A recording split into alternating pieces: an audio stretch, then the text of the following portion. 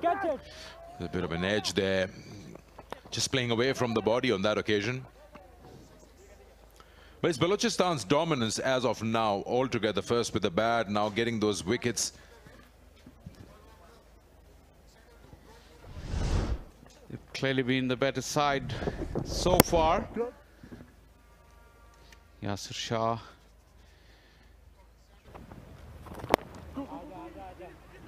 And that's the Pindi Cricket Stadium. Playing match two of the Kingdom Valley National T20 here.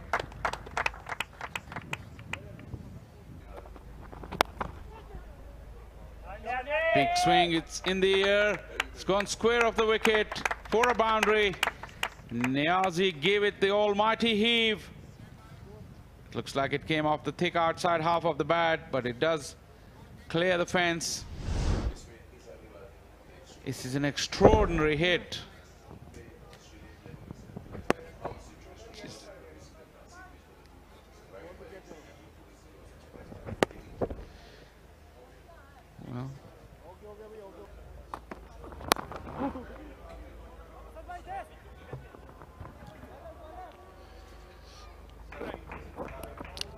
He's kept that shorter length as his weapon throughout this spell of his. Even with the new ball when Akif Javed came, he was hitting the deck hard. There you go. Gets big on the batsman. He just goes over the keeper on that occasion. The batsman had no idea where the ball went, but still earns two more runs. ये बहुत शानदार तरीके से hit मारा है ये बहुत बड़ा छक्का है ये बॉल चला गया है ग्राउंड से बाहर और यही खसूसियत है इरफान खान न्याजी की कि बड़े हिट बहुत शानदार तरीके से मारते हैं। इमरान खान न्याजी जाने जाते हैं इस तरह की बड़ी शॉट्स के लिए। अच्छी पेस बनाई हुई थी और आगे लेग को क्लियर किया। लेंथ भी मिल गई थी और शॉट होल्ड की। इसी वजह से डिस्टेंस भी ज़्यादा हासिल करने में कामयाब रहे। यहाँ ये कमाल का शॉट है। सीधा खेले हैं। ये बॉल चला जाएगा ग्राउंड से बाहर। छह रन के लिए इरफान न्याजी अपना अस, असल रंग दिखाते हुए यहाँ पे। टिपिकल स्लॉगर वाली शॉट है ये। लेंथ मिल गई थी आगे मुँह पे गिरा हुआ बॉल था। और ये देखें आँख में आया बिल्कुल बॉटम हैंडेड प्लेयर और ये इसकी ज़रूरत शदीद है। अच्छी पार्टनरशिप भी दोनों कर सकते हैं फ़हीम अशरफ। अगर चाहें इरफान खान न्याजी दो बड़ी हिट्स लगा चुके हैं। थोड़ा सा प्रेशर अब वापस आ रहा है बलूचिस्तान के ऊपर। क्या है? और जिस तरह की बैटिंग इरफान खान न्याजी कर रहे हैं, एक और कमाल का शॉट ये दो फील्डर्स के दरमियान से बॉल को खेला और चार रन हासिल किए इरफान खान न्याजी ने। एंड चेंज किया था आकिब जावेद ने, और फुल टॉस ऑफ़ स्टम्प के बाहर देना इस मरले पे गुनाह से कम नहीं है, और उसका खामियाजा भुगतना पड़ा। बड़ा अच्छा प्लेस किया है। एंड टाइम पे बल्ला रोका ताकि इस गैप को, जो डीप कवर और लॉन्ग ऑफ़ के दरमियान है, उसको यूटिलाइज कर सके। इरफान खान न्याजी की एक और कोशिश ज़रूर थी। बॉल गई है दोनों फील्डर्स के दरमियान में। आसानी से दो रन हासिल कर लेंगे। बिल्कुल फ़हीम अशरफ को मौके ढूँढने क्योंकि ज़्यादातर बॉलर्स का और बलूचिस्तान का जो फोकस है वो इरफान खान न्याजी पे रहेगा कि ये बड़ी हिट्स ना मारे इनको किसी ना किसी तरह स्ट्राइक से दूर रखा जाए। और उसी प्लान के मुताबिक कहीं ना कहीं फ़हीम अशरफ को कोई लूज डिलीवरी ज़रूर मिलेगी। आखिरी छह बॉलें उन्नीस रन। इरफान खान न्याजी एक डॉट बॉल होगी। अच्छा बॉल था ये खुरम का। अच्छी पेस के साथ outside off term block hole के अंदर क्रीज लाइन के ऊपर।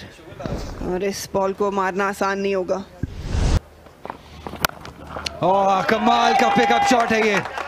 ये बॉल चला जाएगा मिड विकेट के ऊपर से छह रन के लिए। इरफान खान न्याजी ने कहा है कि अभी मैच खत्म नहीं हुआ अभी मैं मौजूद हूँ क्रीज पे। चूक गए खुरम शहजाद। एक और यॉर्कर करना चाह रहे थे, शायद विद इन स्टम्प लेकिन नहीं कर पाए एक्सिक्यूशन और ये देखें आवाज़ से ही आप अंदाज़ा लगा सकते हैं कितना दूर ये गेंद जाके गिरा होगा। और बल्ले का फेस ओपन रखते हैं बंद नहीं करते, जिसकी वजह से इनका कनेक्शन बहुत अच्छा बनता है। जहाँ एक शॉर्ट आर्म जैब टाइप था, ज़ोर से पूरा फ्लो नहीं मारा। और इतनी जान है, इतने पावरफुल इंसान है ये, कि जैब भी इतनी दूर बॉल को ले गया। ओह बीट हो जाएगा वाइट बॉल ये बहुत कीमती वाइट हो सकता है। और शायद इसी वजह से आउटसाइड दी ऑफ़ स्टंप खेला लेकिन वो कमाल के शॉट खेला एक बार फिर। चार रन मिल जाएँगे इरफान न्याजी को। और इसके साथ ही अपने करियर की पहली निस्फ सेंचुरी मुकम्मल की इरफान खान न्याजी ने। और क्या शानदार टाइम चूज़ किया है अपने पहली निस्फ सेंचुरी के लिए। अपना बल्ला बल्ले के ज़ोर पे ही आज अपने हुनर को मन, मनवा रहे हैं। और ये देखें फिर एक अच्छा ट्राई था यॉर्कर का लेकिन मिस कर दिया। और अगर यासिर शाह इस बॉल को नहीं रोक पाए तो फिर इसका मतलब है कि पीछे बहुत ताकत थी। चार रन हासिल किए। मुश्किल होता है एक फास्ट बॉलर के लिए एग्जीक्यूट करना। एक परफेक्ट यॉकर हर बार। जी, जब इरफान खान न्याजी बैटिंग करने आए थे, तब स्कोर सिर्फ़ साठ था सेंट्रल पंजाब का। तो आप सोच सकते हैं कि कितने ही शानदार तरीके से इस पूरी इनिंग को लेके चले हैं कोशिश अच्छी थी। दो रन के लिए आना होगा वापस। उसामा मीर को वापस स्ट्राइक इरफान खान न्याजी को देना होगा। जी हाँ बहुत ही शानदार रनिंग यहाँ पे उसामा मीर की जानब से जानते थे कि डेंजर एंड पे वो आ रहे हैं और तेज़ी से अपना दूसरा रन मुकम्मल किया।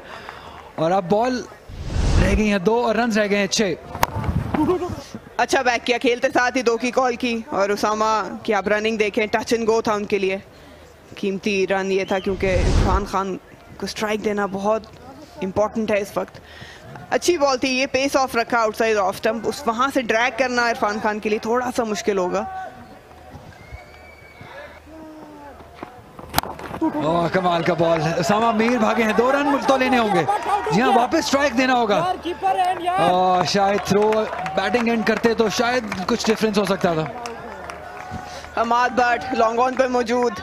ये जानते हैं कि ये उसामा मीर ने दो रन के लिए वापस भागना ही भागना है। इसलिए बहुत क्रूशल होता है कि डीप से आप बहुत जल्दी बाउंड्री को छोड़ें और ये दो रन रोकने की कोशिश करें, क्योंकि जब तक इरफान खान न्याजी स्ट्राइक पे है, बलोचिस्तान के लिए खतरा लाक है। यार क्या ही शानदार मैच हुआ ये। किसी ने नहीं सोचा था कि सेंट्रल पंजाब इस तरीके से करीब आ जाएगी इस मैच में, कि जहाँ पे एक बॉल पे अब सिर्फ़ चार रन चाहिए।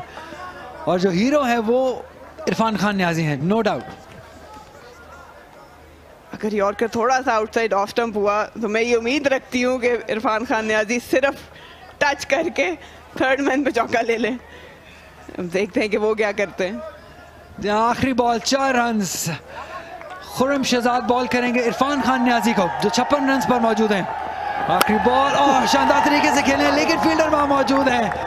और आखिरी बॉल पे अपने नर्व्स पे काबू रखा खुरम शहजाद ने और उस यॉर्कर को एग्जीक्यूट करने में कामयाब हुए। इरफान खान न्याजी उस तरीके से एलिवेशन और फोर्स हासिल नहीं कर सके। और एक साय ऑफ़ रिलीफ यहाँ पे यासिर शाह और बलूचिस्तान की टीम के लिए, क्योंकि बहुत ही कमाल का ये मैच रहा। एक शानदार एफर्ट हम कहेंगे सेंट्रल पंजाब की जानब से, जिन्होंने एक हारे हुए मैच में जान डाली और सिर्फ़ दो रन से बलूचिस्तान ये मैच जीता।